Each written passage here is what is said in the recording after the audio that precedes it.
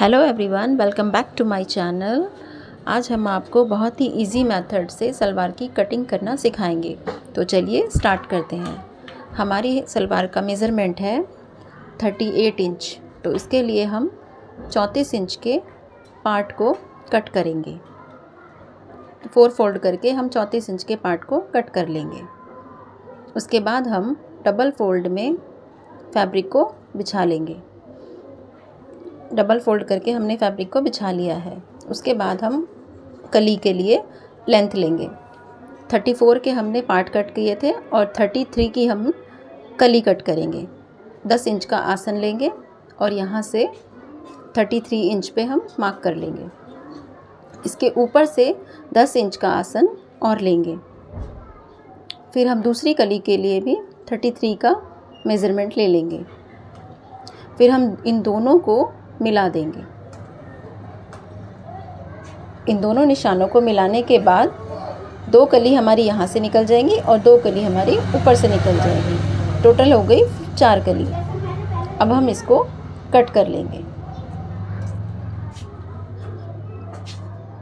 ये देखिए, दो कली यहाँ से हो गई और दो कली वहाँ से हो गई। टोटल हो गई हमारी चार कली। सीधा निशान करने के बाद अब हम इसको कट करेंगे। तो जब तक हम कटिंग कर रहे हैं, तब तक आप मेरी वीडियो को लाइक कर दीजिए और बेल आइकन को प्रेस कर दीजिए और मेरे चैनल को सब्सक्राइब कर दीजिए। ये देखिए, दो कली यहाँ से आ गई और ये दो कली हमें यहाँ से मिल गई। हो गई हमारी चार कली? उसके बाद अब हम दोनों को एक के ऊपर एक रख के और हल्की सी हाफ़ इंच की गोलाई दे देंगे। आसन की गोलाई दे देंगे। ये देखिए। बस आधे इंच की गोलाई। हाँ जी, यहाँ से हम कट कर देंगे इसको, आधे इंच की गोलाई देकर। ये देखिए, और फिर हम इसको अलग कर लेंगे।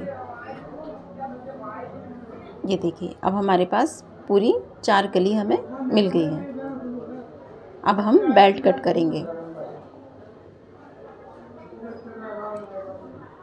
हम नौ इंच की बेल्ट निकालेंगे और दो इंच का नेफा पलटेंगे तो टोटल हमारी छः इंच की बेल्ट हमें तैयार मिल जाएगी।